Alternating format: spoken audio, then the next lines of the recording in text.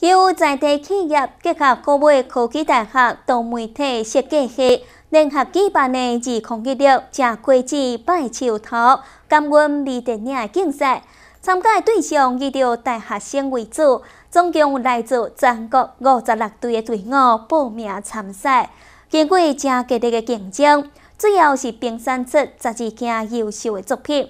其中，国立科技大学三名学生所创作名或者你有一通未接的电话的影片，是得到这次比赛第一名。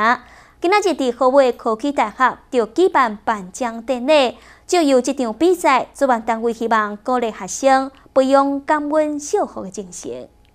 二零一六食果子拜树头感恩为天人的竞赛，来自全国五十六组参赛队伍，经过激烈的竞争。最后评选出十二件优秀的作品。那这个微电影的活动最主要的目的呢，就是希望学生透过这个微电影的拍摄，他可以从我们这个社会的各个角落去发现，呃，有一些什么样子的感恩跟祈福的题材。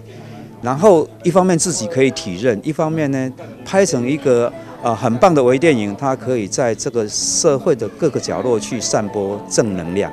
这次入选十二件优秀作品当中，云林科技大学三名学生创作的《你有一通无接的电话》影片，得到这次比赛第一名。学生表示真意外，就没有想到会是第一名了。对对对，嗯，非常的感恩，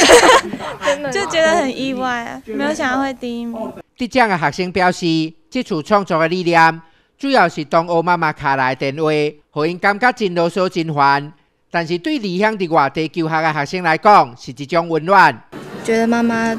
打电话来，就是一直一直关的关心，却变却变成是一种一种啰嗦，然后很厌烦。因为在我们旁人看来，那个同学妈妈打电话给那位同学，其实都是一种关心。俗语讲，食果子拜树头，透过这场竞赛。学校希望学生要有感恩守护的心。希望这次这次比赛的结果可以真的散播出去，让更多的